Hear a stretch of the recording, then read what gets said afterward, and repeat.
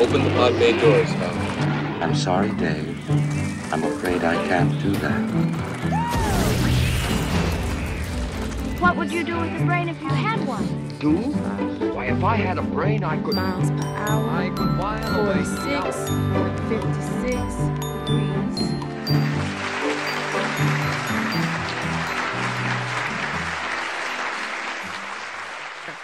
Before I start talking, I would really like to hear from you first.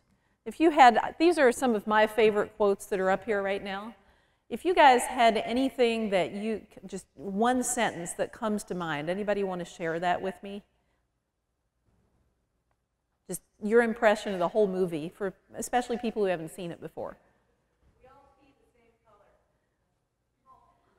I thought about putting that up here. I decided not to. Probably should have. Well, so let me talk a little bit about um, not the science, which I guess I'm supposed to talk about next. I'm an aerospace engineer and I also have computer science background, but just a little more about the movie. Um, first of all, just a little more about me. Um, I'm originally from a farm in West Virginia, so when the movie started and it talked about her going to school in West Virginia, that, that had a little more meaning for me maybe than some. How is it that people perceive each of us when we walk in a room? Well, I will say things are a lot different now than they were in the 1950s and 60s. But I'll also tell you that in aerospace engineering, today in 2017, if I walk in a room and people don't know me, they tend to require that I prove myself more because I'm female. It's still the case today. The problem is not gone. Now, I can speak from experience in that respect. I suppose, in terms of uh, racial minority, I can't really speak from personal experience, but I think the same thing happens. So take care that when you see people walk into a room, when you interact with them, that you breathe deeply and work very hard to get past any tendency that you might have to complain or even have that reaction in the back of your mind that says this person should behave or think a certain way because of gender or race, because these are not accurate thoughts. What is accurate is that people have minds that have different preferences, and when you follow your preferences, when you follow your dreams, as this movie shows, you can do whatever you want as long as you work really hard at it.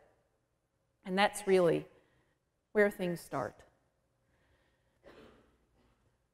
So, why do I put these quotes up here? Well, the first one, uh, I think uh, uh, there's no need to read them. The actors and cinematographers did so much better than my puny PowerPoint slide could ever do. The first one really gets at this concept of denial. Right? Most people don't think consciously that they have any bias. In fact, they'll argue that they don't. Right? The second one, it's a matter of what you want to do given what you're thinking and what your mind is really capable of doing. It's not about how you look. And I guess the third one is about that as well. The fourth one, I think, is more about aerospace and less about the social aspects of the movie. We're engaged in this somewhat of a race today. In fact, I think uh, there's another SpaceX flight that's going to happen pretty soon. Where we go is a little bit less driven by one agency saying this is what we're going to do, and more by companies and people not just in the United States, but around the world, saying, we want to explore. How do we do that? So it's an exciting time in aerospace as well. So I wanted to put up some more people that are pretty important in terms of what they've accomplished over their careers. And I tried to put some uh, kind of a broad spectrum of people. On the upper left, we have uh, Peggy Whitson. She's a NASA astronaut who very recently became the person to have spent the most days in space. Well, the person who's a, a NASA astronaut. So in the center, the top, we have Charles Bolden, who has done a little bit of everything. You guys may have heard him speak uh, as the NASA administrator that was there until not too long ago. He also was an astronaut and a naval test pilot, so he pretty much did all of the fun things that one might do at NASA and maybe paid the price as the administrator, which may not be quite as much fun. On the bottom left, we have two people. How many of you have ever heard of Barbara Liskov or Fran Allen? Anybody? Well, there's this award in computer science called the Turing Award, which is a, kind of a lifetime achievement award for doing really good stuff in computer science. And they, they are the two of the women who have won this award. You actually have to look kind of hard. The award has been around for a while, and there are a lot more men who have won this award. And I tried to look for it because I thought maybe I had missed something, but I couldn't find any uh, African American winners of this award, so maybe next time. In the middle, Patty Wagstaff. Um, she's kind of uh, a random choice because she doesn't do either aerospace, astronaut, or computer science. But what she did do is fly really well. She's uh, the first female U.S. national aerobatics champion, and uh, she took the notion of aerobatics from having separate categories for men and women and just mixing them all together, which was important because it used to be, well, the women are doing this and the men are doing that, and there was a lower expectation. But she changed that. And so now people just fly. And we watch them at air shows, and we have them do test pilot activities. And what we find is that there's not really a difference in capability. So then on the right are two uh, NASA astronauts. The one on the top right will be launching to ISS in 2018, Jeanette Epps. And on the bottom right, maybe this is a random choice, is Stephanie Wilson, who was an astronaut and also my classmate when I was an undergrad. So she's a good engineer, good mathematician, and also a really good astronaut. She's flown three times in the space shuttle. It's not possible. I could have made a collage that had hundreds of people, but then you would be looking at them going, I wonder who's there. Right, so this is maybe the most important slide that I have. Look beyond the numbers through the math that doesn't exist yet. And you can replace the word math by computer algorithms, by solving any sort of problem you want.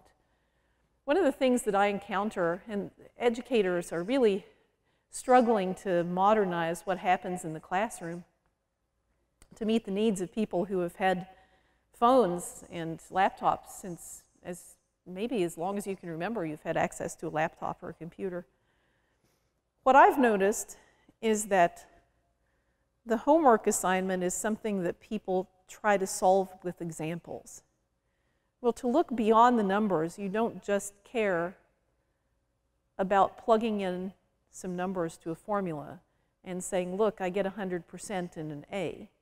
As you guys graduate from high school and go on to college, the real trick is to learn to think. That's why you bother to go to college. That's why you don't stop after high school and acknowledge that Wikipedia and Google Scholar and eventually IBM Watson. Uh, by the way, what they're planning to do next is to release a version of Watson that becomes a research assistant. Right, so it'll find good papers and pull out materials for people who are doing research. What you need to learn to do if you're pursuing STEM, science, technology, engineering, math type careers is you need to think. You need to think about algorithms and computations from the computer science side. That doesn't mean you need to learn a language to program in. It means you need to think about fundamental concepts where does the data come from? Where does it go? How do we manage it? How do I do that efficiently? You need to think about the math. It's not just a matter of getting through Calc 1 through Calc 4 in college.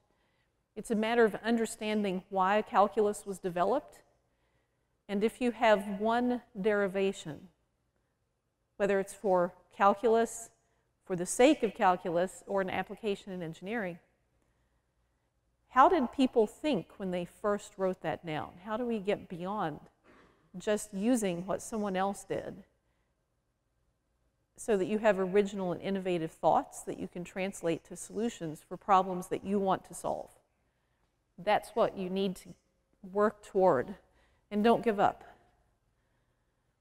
So, I'm going to talk for about 10 minutes about my research, which is involving safe and autonomous aircraft. This is not space, but they invited me here, so I'm going to talk about aircraft. And it is aerospace, where things change as you go from mechanical engineering and self driving cars and all of those wonderful things into aerospace is you worry about three dimensions and you worry about going really fast because that's how it's done. Right, so we have all kinds of airplanes. If you look at the right-hand side of the slide, things vary from the 787 and the A380 that you guys may have had the privilege of flying in, all the way down to the small drone that promises package pizza taco deliveries and all kinds of things in between. We also have fighters and we have old planes like the yellow Piper Cub in the middle that have to share the airspace. Right, well, the reality is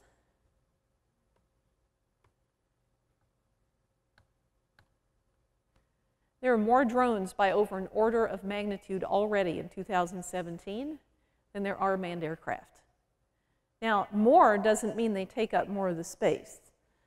More simply means that they're so cheap that you can go buy one or you can have a friend or family member buy you one and it doesn't take their life savings. How many of you have flown a drone before? Okay, finally some response. Well, so probably you've flown where you had the transmitter in your hand or a cell phone or something and it was somewhere up in the sky near you. Maybe you had the fancy uh, first person view camera and you were looking at a TV screen and zooming along with the drone, projecting yourself into the drone. Well, that's all great.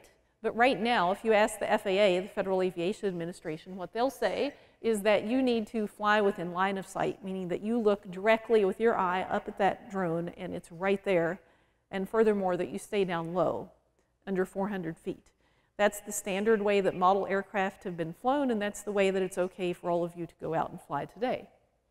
Don't fly over, uh, don't fly over other people's heads, especially if they don't want you to. That's a general rule. And I think that goes without saying, but sometimes it's good to say it and remind people about that. Well, the reality is, technology is way ahead of what we understand because we can have these things with GPS. We put waypoints in them and we set them off, and they fly. So, how do we mix those in cities with all the people and the cars on the road and with other airplanes in the sky? And how do we make sure everybody stays safe? Because we don't really want to be walking down the street, going to our favorite restaurant, and be hit in the face with a drone, whether it kills us or not. So these are the kind of complicated questions that we're talking about now. And one of the things that goes without saying is the reason we have the quadcopter is because of software and sensors. Right? Humans cannot fly a quadcopter. You can't calculate in your head the four motor commands. You need a microprocessor and some sensors that tell you what the angles are of the vehicle. Going the next step, all aircraft today, except for the really old ones, have autopilots that allow either the pilot on board or the person at the remote control or ground station to look away and say go, and the plane can fly between waypoints, which are GPS coordinates. And in most cases, even take off and land automatically. Well, what does that mean? Well, that means that we can have the airplanes go wherever we want them to go without actually paying attention.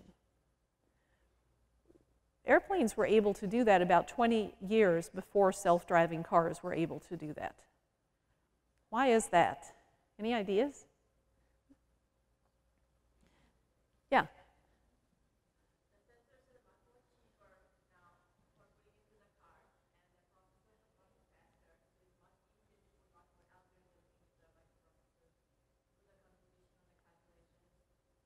Yeah, so uh, what she said was that the uh, sensors are much cheaper And computers are much faster and smaller, and so they can now be put in cars.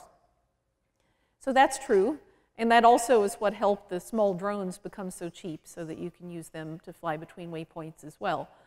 Um, but the other thing is the environment is simple, right? You have air around the vehicle.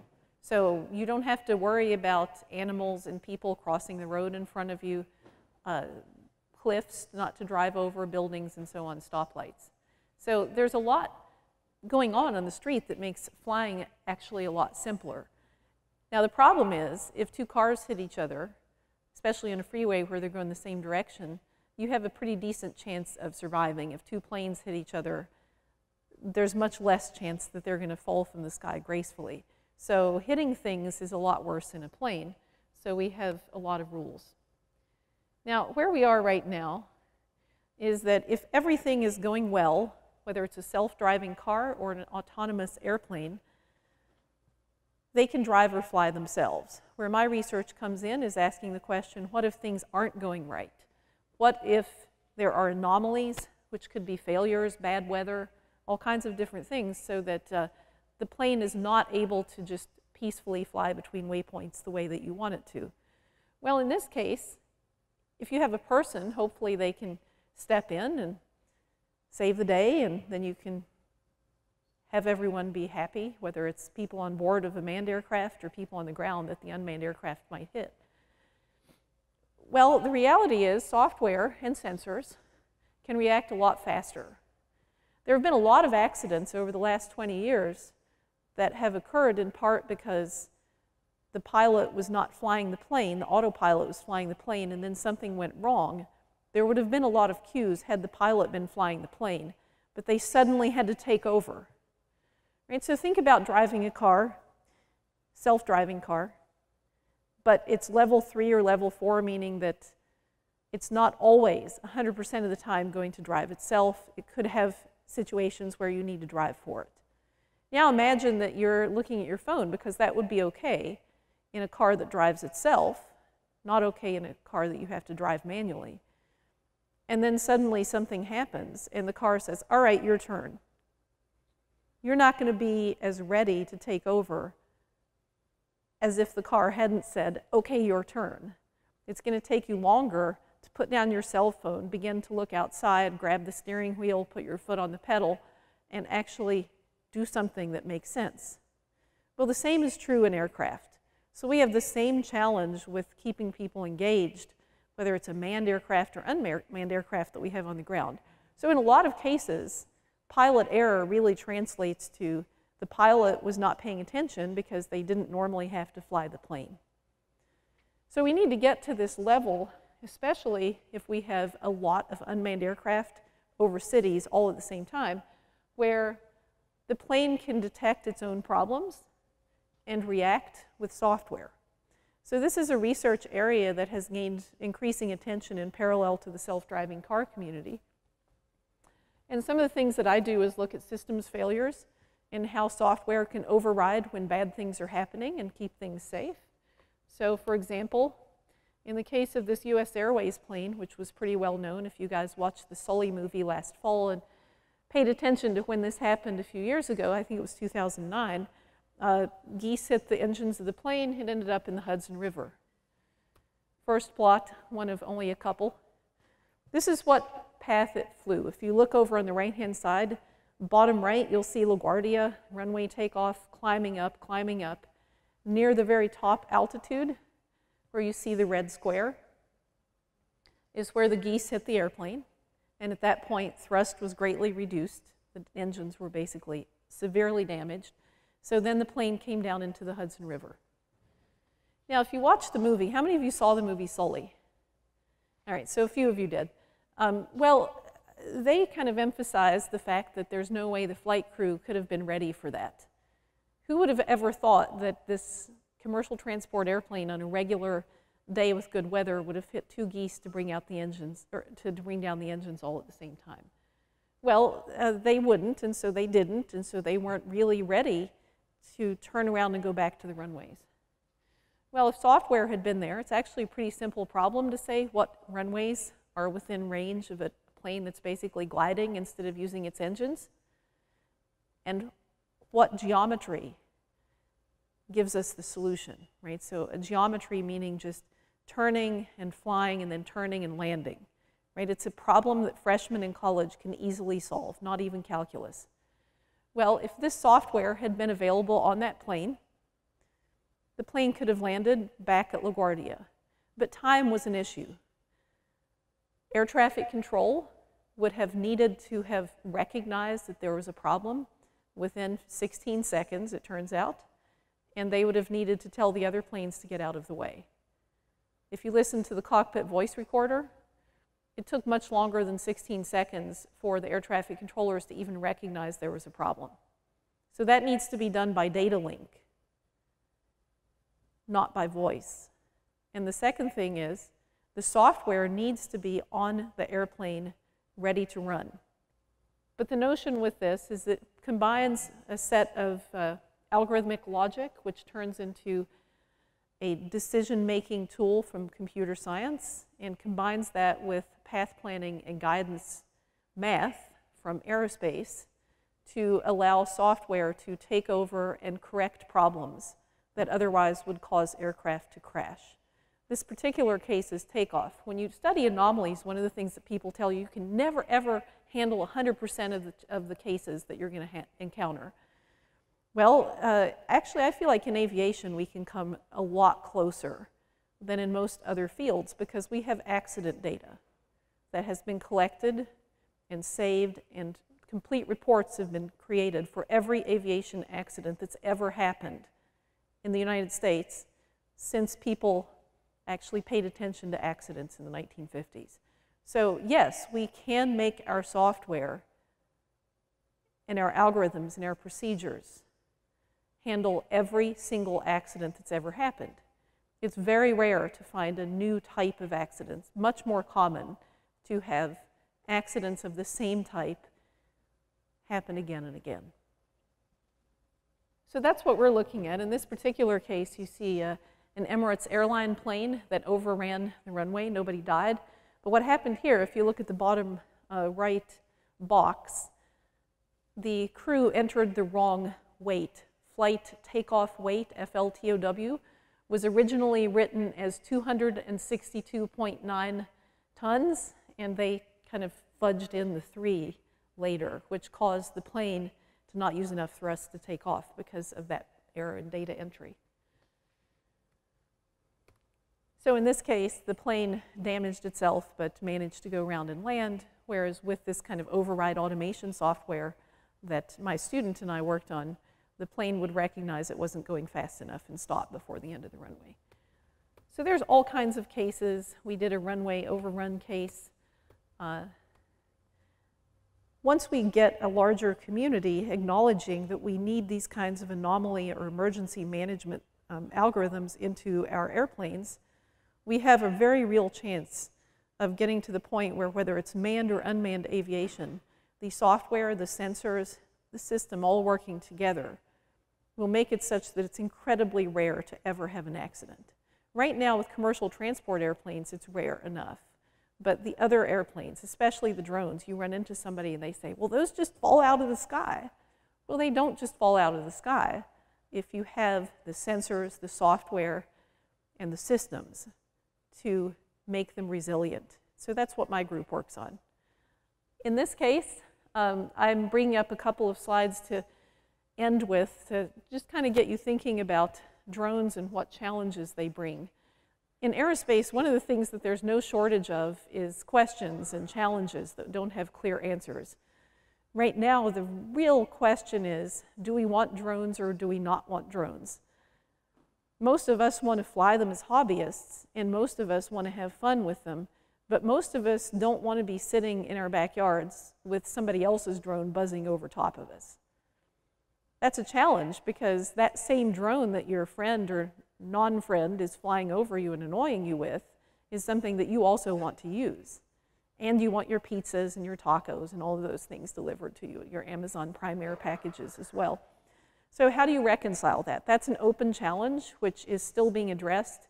Here at the University of Michigan, the uh, executive officers decided over a year ago that no one is allowed to fly drones over campus. Now, is that enforceable? I don't know. You guys shouldn't try it. But what did that cause? Well, I suppose one of the things that it caused is for the students who knew about that ban over campus to go to the local parks and pull out their drones. And no kidding, I've seen faculty be like, well, we can't fly over campus, so we're just going to go to the Ann Arbor parks. And I'm like, this is not a good idea. It's like trying to, and I like drones, trying to terminate all of the cockroaches from a house to, to you know, have pesticides, and then they go to another floor and infest that instead. So here we're taking all the drones away from the University of Michigan campus and putting them out to everybody else.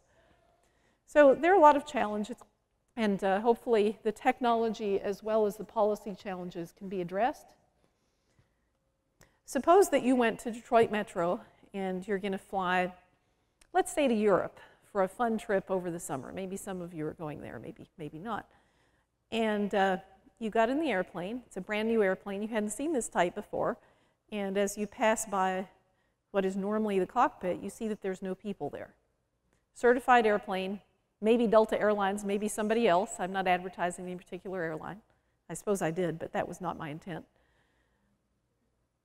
Would you get off the plane or would you fly, given that there was no human pilot, that it was fully autonomous? How many of you would sit down and comfortably fly to Europe? Okay. How many of you would turn around and get off the airplane and demand a refund? Okay, and I guess the ones who didn't raise your hand would sit down and fear for your life the whole way? Is that where we are? Okay. Yeah, you know, this is, this is amazing to me that if you, if you ask people about the planes, they will say that they want a human up front.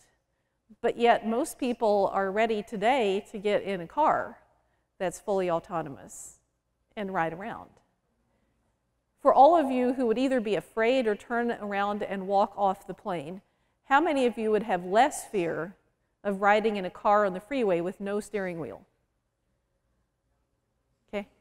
All right, any other comments about the movie? Obviously, this is a short presentation, and there's a lot of things out there to learn in terms of math, science, computer science, and also making sure that you are fair to everyone you meet in terms of uh, their characteristics. Yes, in the back. second time I saw the movie, and the first time I saw the movie, I saw it with my parents, who both worked for General Motors um, in the rocket building program in the late 50s, early 60s. Both had jobs, by the way. Um, and then we had this conversation about what it was like not only to work at that facility and the security and the, all the um, confidential information they were given access to that they really had no business as temps having access to. So then we talked about just what it was like being a white person in Michigan in, during that time and how even when they traveled to the South, like their perspective of, and their perception of the, the difference between their color of their skin and anybody else's color of their skin was, we, we grow up now not even thinking about it to a certain extent.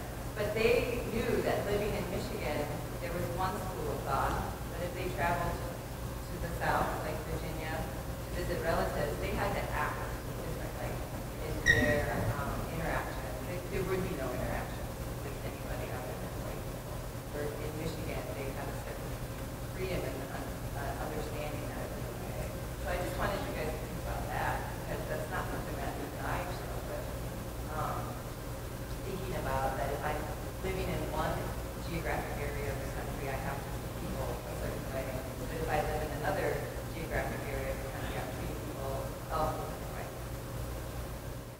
Yeah, so, so I promised to repeat questions, but that was so long I can't really repeat it. But I think the, uh, the 10 second summary is that if you go from Ann Arbor, Michigan, or Detroit, Michigan, where integration has been pretty successful for a long time, and you go to a place that had a lot of segregation back in the 1950s and 1960s, that people were very different when they met each other if they, um, you know, if they talked to each other at all, uh, if you were in different groups.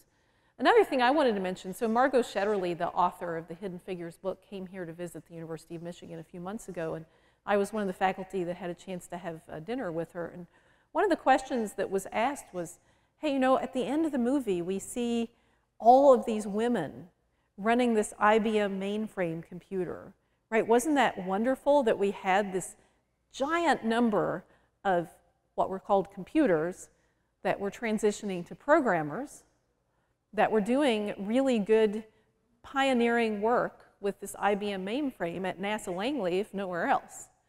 Well, uh, so we asked her what happened to them. And she said that basically over time, they moved or went away for various reasons, and that they were largely replaced by men. And to some extent, the attitude was still, even after this whole room full of people was there, that the men were better at doing the hard calculations and the women were not. So that did not solve the problem. Don't think that at the end of the movie that suddenly gender and racial discrimination was gone. It was a nice way to end the movie, though. All right, well, if you don't have any other statements or questions, thank you for coming and have a nice day.